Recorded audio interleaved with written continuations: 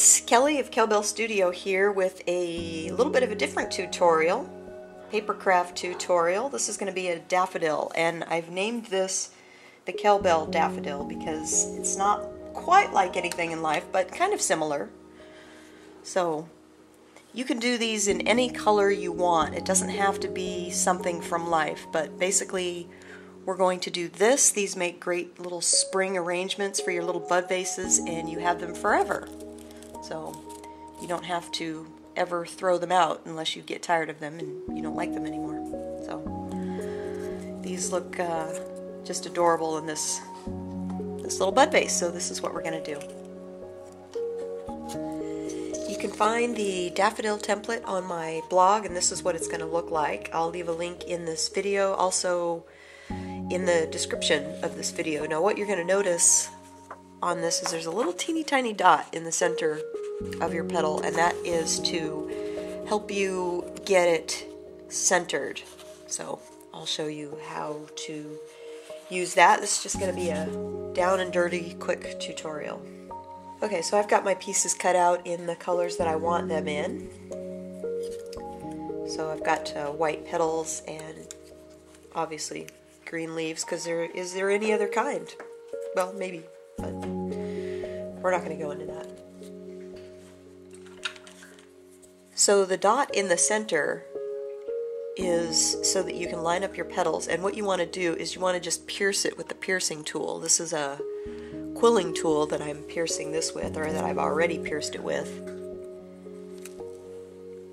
And then they line up very nicely so that all I have to do is twist or turn these until I have them how I like them because obviously you don't want it to be like this you want your petals to be nice and evenly spaced. So once you get that the way you like it then you can just apply a little glue to the center and glue these two pieces together. Next you're going to need some floral wire. And how long your wire is going to be is really going to depend on how long you want your stem. So I'm just going to take and insert the wire up through that center hole. So you can either make your hole bigger or just make sure that you put a little glue on the tip of this so that your fabric, whatever your wire is wrapped in, if your wire is wrapped, that it doesn't start coming apart on you. So then I'm just going to take a pair of pliers and I'm going to make a loop in this so I have something to glue onto my petal.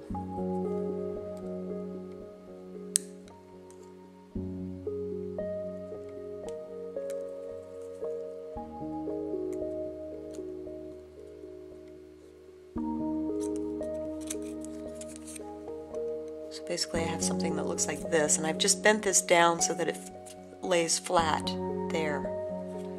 So now I'm just going to add a little glue, so pull it down, add some glue and you can just glue that little center in there. So one of the things that I like to do to maybe cover up this center to make it easier for us to put our trumpet on there is to just get a little scrap piece of paper and punch a circle with just a regular quarter inch hole punch. So it'll look like that. So for the center, you're going to want to find some tissue paper that you want to use to make that center with. And I'm going to be using a, a punch, but I gave you a circle in your template, so you can certainly use that. Now with the punch, it kind of doesn't do very well with tissue paper alone, so I'm going to back it with a piece of paper. And I'm just using a quarter inch circle punch. And that is the exact size of the circle I gave you, so if you're doing it manually and not with a punch, at least you'll have the right size.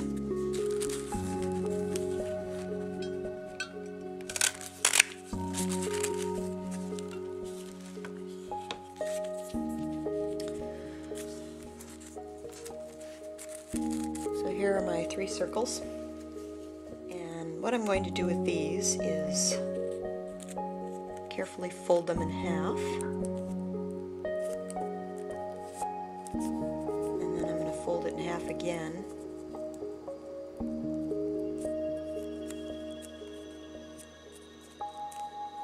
And then one last time. Don't worry, we're not keeping these like this.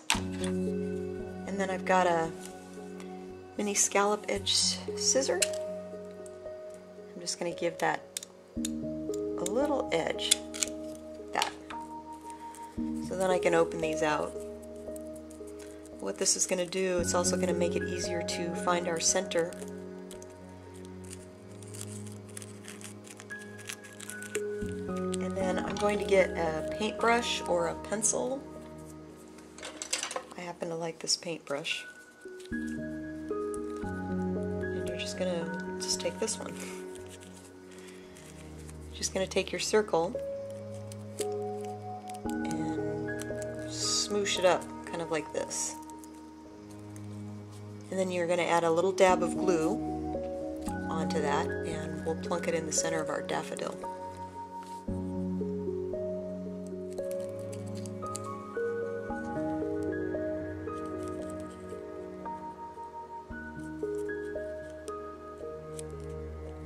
Okay, so we have something that looks like this now. So next, you just want to take the other, your other two circles and do the same thing. So twist it up, add a little glue, and then onto your daffodil.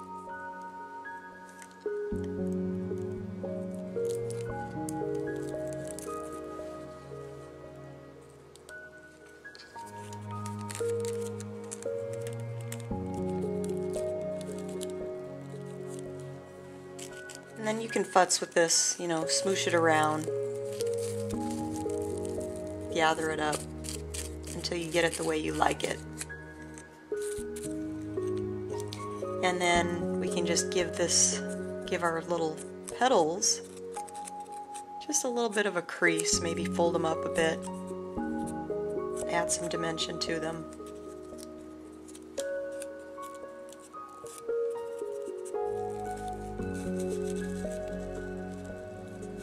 You can pretty much do, you know, whatever you want with these. So now I have my my Kellbelle variety daffodil. We're not quite done yet. We've got a couple more things to do. We can fold this down a little bit. So it's kind of like that. I've given you something that looks like this. I don't know what you really call these. I've seen them called calyxes, so I'll go with that. And I'm just going to bend it.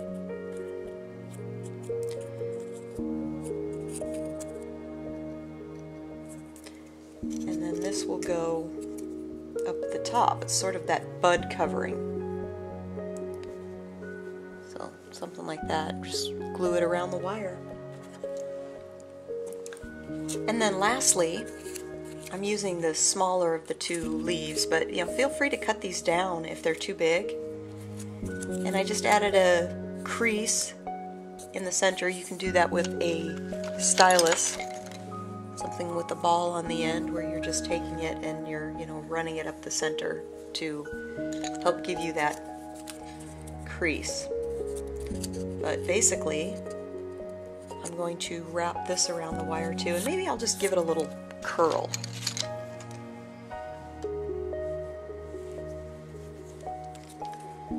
So bend it down a little bit. Something like that. And then I can take and put my glue on there and wrap this around.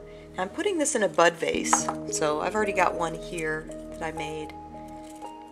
I don't want too many leaves in here, so you might want to go easy on the leaves. So